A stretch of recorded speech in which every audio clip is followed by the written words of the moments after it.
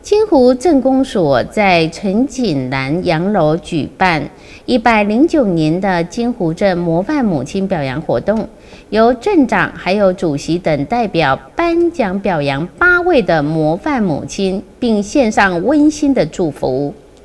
对社会出钱出力。哦，要兵了，来，三二，好。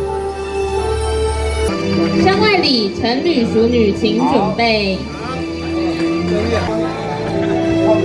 陈女淑女女士的优良事迹，金防部爱心妈妈，金湖分局职工。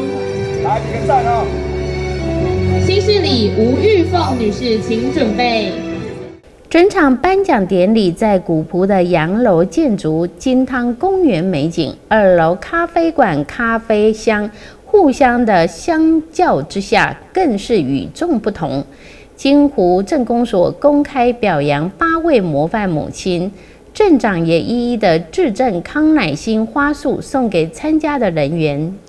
疫情的关系啊，啊，我们这一次啊模范母亲的一个参会啊，我们就减少啊没有来举办。但是呢，我们啊金湖镇公所啊及代表会。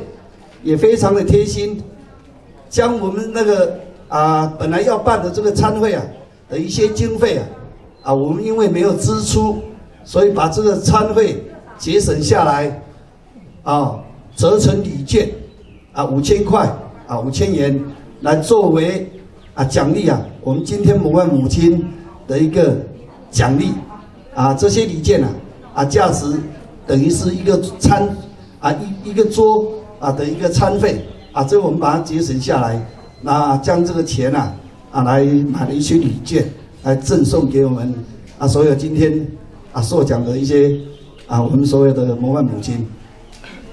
那今天呢，这个决议啊，也是我们代表会跟镇长还有我们主计啊这边大家大家商量的结果。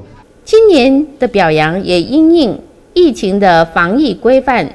移到户外举办母亲节表扬，加上陈景南的咖啡馆开张，让获奖者和与会嘉宾都能到陈景南洋楼欣赏古朴建筑风情，也顺便轻松一下。